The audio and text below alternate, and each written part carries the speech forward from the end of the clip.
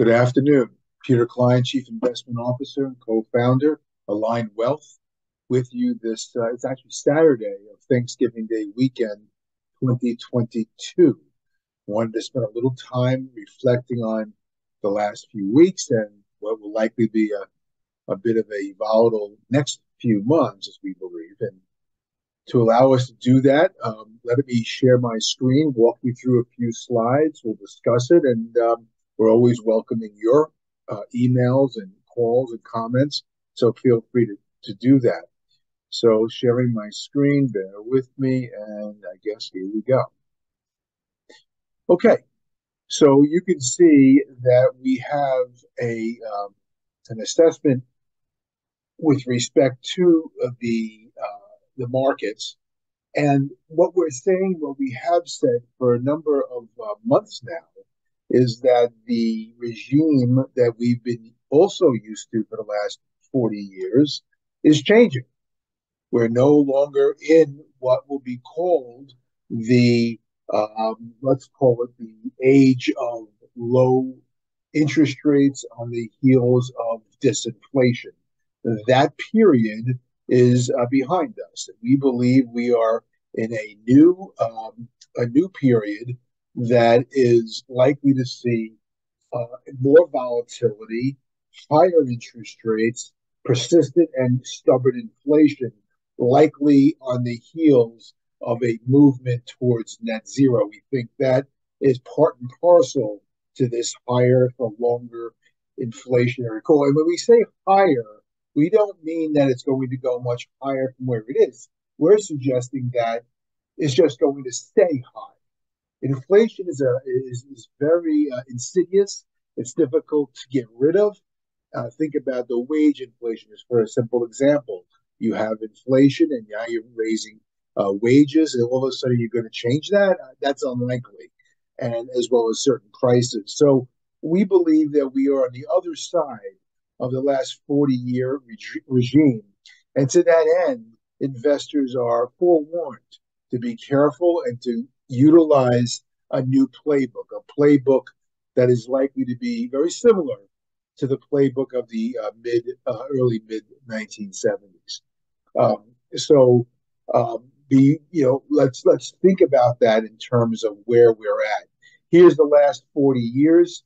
You can see here that we have a reversal of, of that period. You can see that we were once um, globalized, and we had a lot of great things that happened, very disinflationary things, economic elements that occurred during the last, previous 40 year regime because that we, we had this unusual confluence of, of events. We had the emerging markets. We essentially outsourced inflation to the emerging markets. Guess what? Those, those markets no longer emerging. In fact, we might we're not so friendly with some of them. So the geopolitics is also in, in it's we have, we have anti-globalization in many cases. We're now seeing rises of nationalism. Um, people, prote- uh, countries are, are protecting their resources, near sourcing or onshoring. You know, you you don't no longer can can can rely upon the globalization factor for your products and your supply chain, that's inflationary. So this is part and parcel to what we believe is the regime change that we've been talking about. 2023 is right around the corner before you know it'll be holiday season and um, we just had a wonderful Thanksgiving. I hope you and your family families also enjoyed it. Uh, we have much to be thankful for. Uh, we're still the greatest nation in the world, and uh, and, and we will always uh, strive to be doing better. But there's there are issues ahead of us. One of the bigger issues are well that mother's milk of equity returns earnings, and, and, and recession is looming. This is a graph, a chart of the uh, spread between the 10 year uh, bond, the Treasury bond, and the three month T bill. Well, when you see that change go negative, that's called, uh, you know, that's when we are now in potentially a recessionary signal. It's called an inverted yield curve inversion, right? And so we want to be very careful of this because it has a near it has a perfect record, a perfect record of calling recessions. And as you can see here, here we go. Uh, yeah, and it's not just a little bit. Um, you know, it, has gone down uh, a, a, good deal below zero. So um, that is uh, sending a lot of alarms through Wall Street. Although in the last couple of weeks, it didn't seem like anyone really cared too much. This is this is important stuff, folks, um, and has a very good record of of um, of, of, of, pending recessions, and so we ne- we have to be very uh, concerned about the uh, about this um, inflection point in the yield curve. In addition, as I said earlier, the earnings, mother's milk of equity returns. Everything is earnings. And what we have not yet seen, and why we at ALINE Wealth are somewhat concerned about the first half of 23, is we have not yet seen analysts take down earnings estimates. Um, and we believe that that is likely to occur. Um, maybe we don't have a very substantial recession. Maybe we have a brushed over recession, a more of a stagflationary environment, but clearly we're going to have a slowdown. The Fed has increased interest rates precipitously. You don't that doesn't happen without something breaking. We've seen crypto break. We've seen, uh, but we haven't seen much more than that, and that sort of has folks worrying what will be the next thing to fall, the next shoe to fall, and perhaps it is indeed earnings. Uh, certainly, operating margins are beginning to fall from their, uh, you know, their their perch, their high uh, perch, and that's worrisome because obviously, and, and frankly, expected with the fact that interest rates have gone up so much, so you would expect a slowdown in earnings and and, and therefore in operating margins. So yet, to the, still yet to see the the decrease in earnings and, uh, from analysts, and then of course from companies reporting, and so that has us on uh, on watch for 23. And clearly, as this uh, chart shows, that when indeed we do see earnings come in, um, we were looking for uh, you know a, a, a, you know a PE ratio that is near 12 at the low.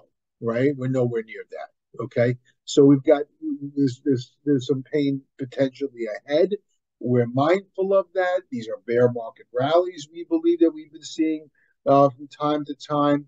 They're to be rented, not owned, uh, and there and faded, and, uh, and going back to a more defensive posture.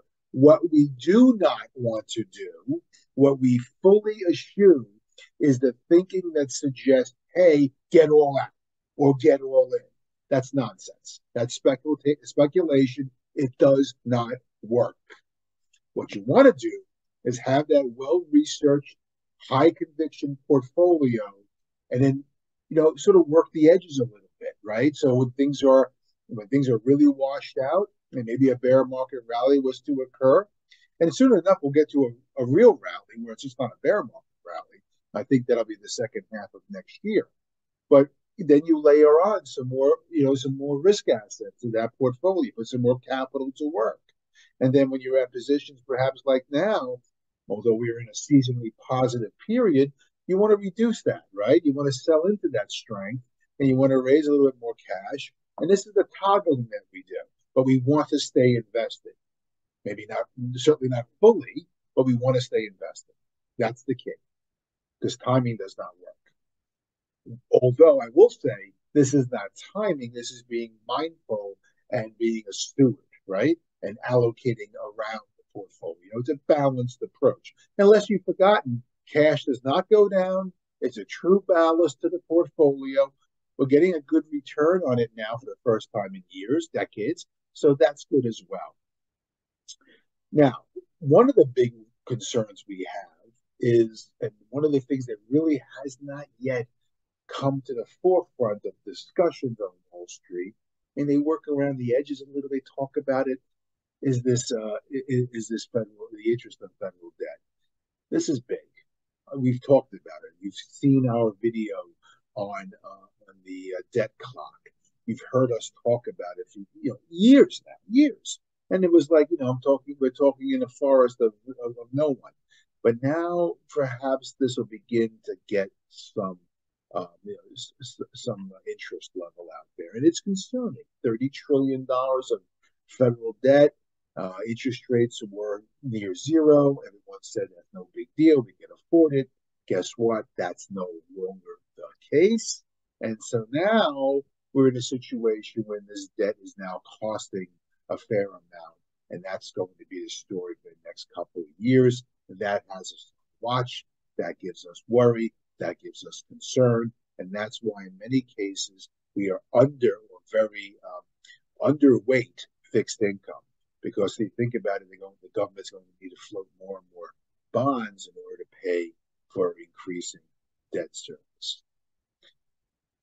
Okay, but this is the reason why we have that portfolio. This is the reason why we stay invested because patience, you know, is a virtue. You know, there will be a time when we work our way out of this and earnings begin to move higher and perhaps we have a, a right sizing of the federal deficit and we move forward. And, there's new innovations and new entrepreneurial spirits. And, and this is the dyna- dynamism that is the American uh, entre- you know, entrepreneurial and American markets. This is why you know we're the greatest economy in the world. And there are other economies. You know, if China get China needs to get through their COVID um, shutdown air issues, and and hopefully they will. And that's going to be important. This war, of course, is a very big and sad and uh, concerning situation. But this too shall pass. And when they do, markets respond. And as you can see in this particular chart, when they do respond, they respond big. And so this is why we want to stay invested, at least with a portfolio that we can add to as markets get become more normalized.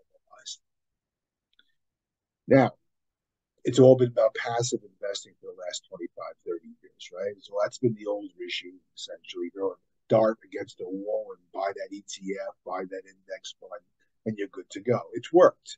Um, I don't believe it's going to work going forward. I believe active management is back in force. This particular slide shows you the dispersion between the best and worst performing stocks in the S&P sectors, or actually sectors.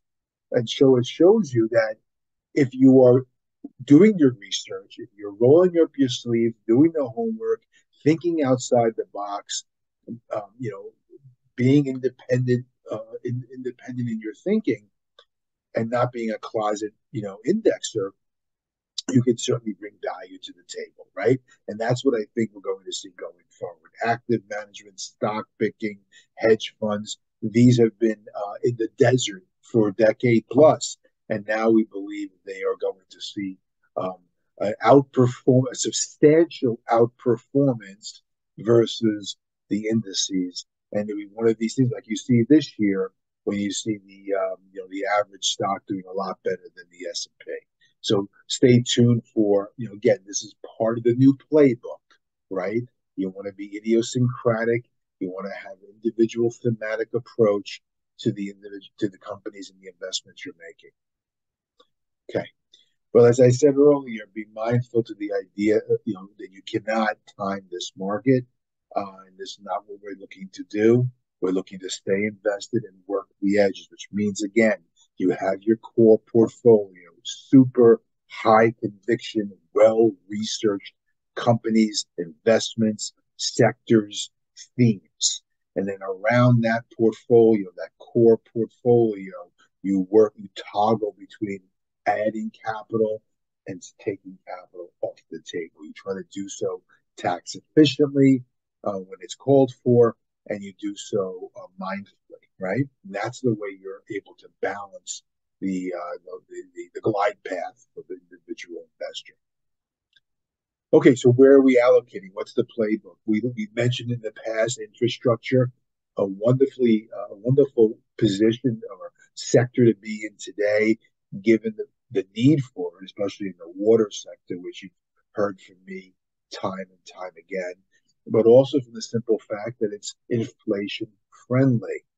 It allows these these these uh, contracts, these in, in infrastructure contracts, have built-in inflation protection in them. And that is critically important to the case that we're making with uh, with infrastructure and real assets as well. And you can see here how real assets have done so nice, so much better when uh, when inflation is high. So we want to have a, a, a heavy allocation to real assets and infrastructure and uh, commodities and, uh, and the like. Those are the his commodity super cycle. We believe this has legs. We believe after many, many years of underperformance that the commodity sector, the sector, energy sector will do very well going forward. So our current playbook is quite simple. We want to overweight cash, respect volatility. This is, this is not over. We're going to have ups and downs. Going to have these crazy rallies, and to, then you're going to see the opposite. And until the markets can get their hands around inflation and higher interest rates and you know decreased earnings, and that may be sometime next year, the year after, um, then we will then we will see an opportunity to be a bit more uh, strategically allocated. But until that time, we want to be tactically allocated.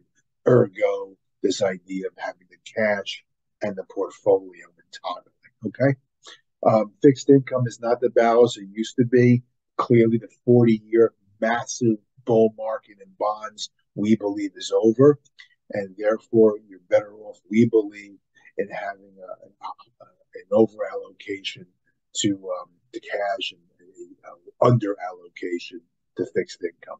That said, there's always a, a special situation. There's always an idiosyncratic security or opportunity or fund. We're always going to look out for that. In fact, one such uh, sector that is attractive uh, very well uh, could be the distressed debt area, whereby you're buying uh, credit or, or, bonds of companies that are in stressful periods, distress, and you're buying them on pennies on the dollar, and they restructure and they end up doing very well. And that's an area that can be interesting, especially in this market.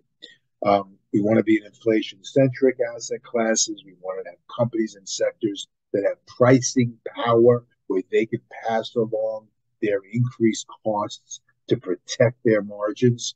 You know, think healthcare, think utilities, think water. So these are the areas that we think are, are still very uh, viable um, in our in the portfolios that we manage. This is where we're where, where our playbook essentially. Um, there are uh, still pockets of cheap stocks. Uh, you see Japan value here, resource companies, um, still opportunities to be had there. You have to do the research. You've got to do the homework. This is not the kind of thing you throw a dart against the wall. That will no longer work. Now's the time for stock picking.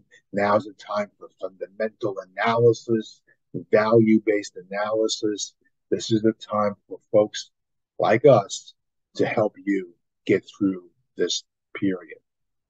Um, and then here's, a here's a stat on European equities, and I you know we, joke here, man, there's a war going on. We know it, but you know what? When they look at the very the most important factor, this has been a seminal study over 40 years, 50 years, um, and when it when it was looked at, what factor is the most important factor and it contributes to equity market returns going forward, future equity market returns. And it came out that it's not it's not Fed policy, it's not inflation, it's not uh, earnings growth, it's the price you pay. That's what, that's what gives you the greatest opportunity to do well. If you're paying up, if you're chasing returns, you're buying into the hubris in the bull market, your return's are going to be lower going forward 10 years. If, however, you're patient and you're contrarian and you're a value investor and you buy what's unloved and misunderstood and cheap, cheap, cheap, your glide path going forward is usually, has historically been shown to be out, outperforming. So that's why, you know, thinking about Europe right now could be opportunistic. You're buying blue chip companies, right? Blue chip, 150, 200 year old firms uh, that do business around the world does it happen to be in France or happen to be in Germany or happen to be domiciled in the UK or Italy? You know, developed countries. This is where you can find some values today. versus the US, which is still high comparatively. So we think this is an opportunity. Again, slowly feathering in, not going all in at one time. So that's it. Appreciate the opportunity to spend some time with you today. Wishing you and yours a happy and healthy holiday season, and really appreciate the opportunity to uh, chat with you. And, and if we could be of any service going forward, please feel free to give us a call at ALINE Wealth where we can discuss your portfolio, uh, your financial plan, and uh, and really um, you know answer any questions you might have about your portfolio. Also, ask us about estate planning. That's another uh, area that we're focusing on here at Wealth. Understanding where your current assets are titled and how the legacy, your legacy, is going to be affected going forward. So call us. We're here to help. Have a great holiday season if I don't speak with you. Look forward to chatting again soon. Thank you.